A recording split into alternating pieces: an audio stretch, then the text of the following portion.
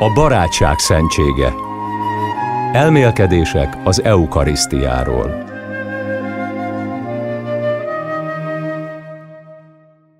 Pünkösd után az első keresztény közösségnek a fő jellemzője volt, ahogy az apostolok cselekedeteiben olvassuk, hogy álhatatosan kitartottak az apostolok tanításában, a kenyérszegés közösségében és az imádságokban. Egy szív és egy lélek voltak bátran hirdették Isten igéjét. Hát ezek a jelzők, amelyek az első keresztény közösségnek ad Szent Lukács, aki az apostolok cselekedeteinek szerzője. Azt látjuk, hogy az ősegyház a kenyértörés, azaz az eukarisztia ünneplése körül kialakult közösség, amely nagyon mélyen egységben él, és ugyanakkor egy nagyon dinamikusan növekvő evangelizáló közösség. Mi is az első ismert tanú, szövegtanú, amely rendelkezésünkre áll az eukarisztikus ünneplésről.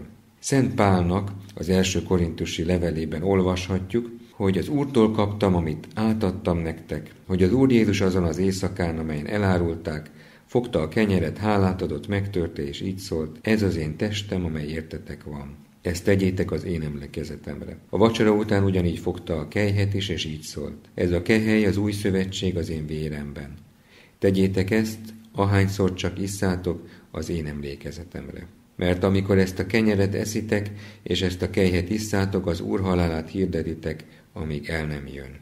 Ezek az első korintusi levél 11. fejezetéből azok a részletek, amelyek a legősibb keresztény szövegként maradtak ránk, arról, hogy mi is zajlott az utolsó vacsorán, azért a legősibb, mert az evangéliumok is korban később keletkeztek. Mi is ennek a jelentősége? Ha ezeket a szavakat így, így hallgatjuk, akkor egészen biztos, hogy eszünkbe jut a Szent Mise, hiszen nagyjából ugyanezeket a szavakat mondjuk ki a Szent Mise átváltoztatásakor, és ez azért van, mert egy olyan ősi megfogalmazásokat őriz Szent Pálnak a levele, amelyet nem ő talál ki, hanem neki is adatott, tulajdonképpen az őskeresztény közösségnek a liturgiáját idézi ebben a levélben, és ezért maradt ránk ez a részlet. Mi a mégis a jelentősége ennek? Az, hogy lehet azt mondani, hogy mindennek a kezdetén az eukarisztia áll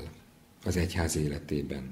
Legalábbis olyan értelemben, hogy a Szentírás, amit ma mondjuk, ha új szövetségi Szentírásra gondolunk, akkor a Szentírás az lehet azt mondani, hogy az eukarisztikus ünneplésből nő ki. Miért?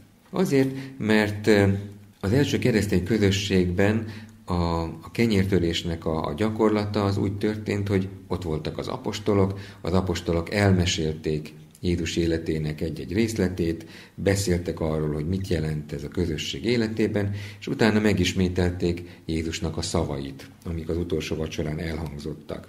És ahogy aztán teltek az évek, évtizedek lassan, ezek az apostoli tanúk, akik Jézusnak az vacsoráján ott voltak, hát sorban vértanú halált szenvedtek, és az ő tanítványaik vitték tovább az eukarisztia ünneplését is, és egyre inkább felmerült a közösségben az az igény, hogy hát amiket itt a Péter, a Pál, meg a többiek itt mondanak, azt jó lenne valahogy megörökíteni. És hát tulajdonképpen így születtek meg az evangéliumok, mint Jézus életéről szóló tanúságtételek, amelynek a a helye, ahol ezeket felolvasták, hát az, az a Szent Mise volt. És ugyanígy a levelek, amiket például Pál ír, vagy, vagy Jakab, vagy a többiek, vagy a Jánosi levelek, ugye az apostoloknak a levelei, ami az új szövetségi szentírásunknak a része, ezek olyan levelek voltak, amelyeket a keresztény közösségek összegyűjtöttek, és az Isten tiszteleteiken, a Szent Misén olvasták fel. Lehet azt mondani, hogy tulajdonképpen az új szövetségi szentírás azért íródott, vagy azért állt össze,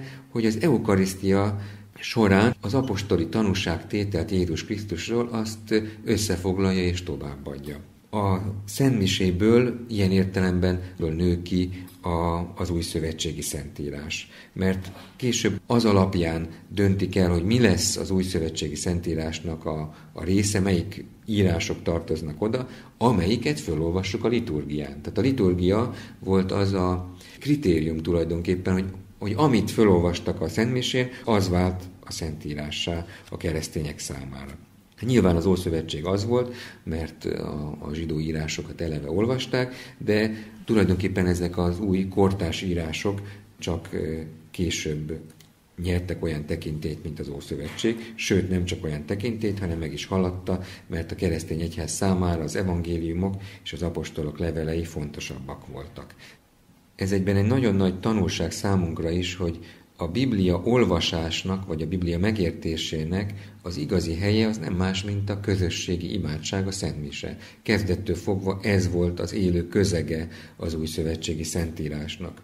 És egyben azt is tanítja ez számunkra, hogy a Szentírásban hol vannak a hangsúlyok, mi a fontos. Minden egyes szentmisénkben elmaradhatatlan rész az evangélium. Van, amikor Ószövetség olvasmány nincs, mert szentlecke van, de evangélium mindig van. És ez azt is mutatja, hogy az egész Bibliának van egy szíve, van egy közepe, és ez pedig az evangélium.